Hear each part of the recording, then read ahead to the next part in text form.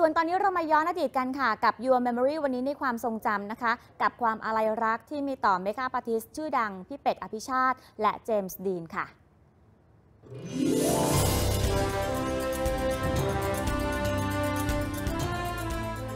ช่างแต่งหน้าผู้เป็นตำนานแห่งวงการแฟชั่นไทย เป็ดอภิชาตินรเศรษฐาพร สิ้นลมอย่างสงบในวันนี้เมื่อปีที่แล้วในวัย 55 ปี ด้วยโรคมะเร็งต่อมน้ำเหลือง หลังต่อสู้กับโรคร้ายนี้มานานเกือบปี โดยเขาย้ำกับตัวเองอยู่เสมอว่า จะอยู่กับโรคมะเร็งอย่างเข้าใจ ไม่กลัวตาย ขณะเดียวกันก็เตรียมตัวตายทุกวัน และเมื่อวาระสุดท้ายมาถึงก็จะขอตายอย่างมีความสุข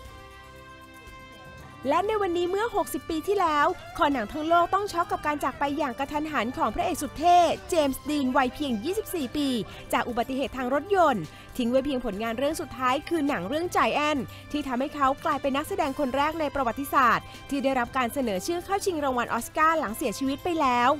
ภาพจำของเจมส์ดีนคือพระเอกลุคแบดบอย และไอคอนแห่งยุค 60